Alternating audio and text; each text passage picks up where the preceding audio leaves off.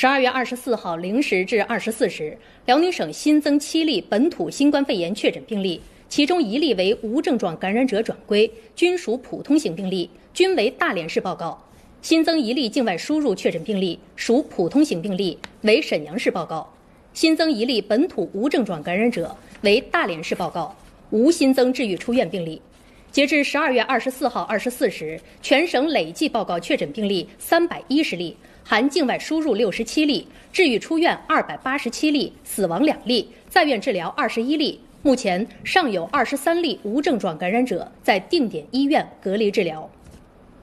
本台刚刚收到的消息，今天下午五点，大连市政府新闻办举行新闻发布会，对外通报了本轮疫情的最新情况。截止到目前，大连市全员核酸检测已完成核酸采样四百七十五点六五万人次，完成检测三百一十三点一万人次。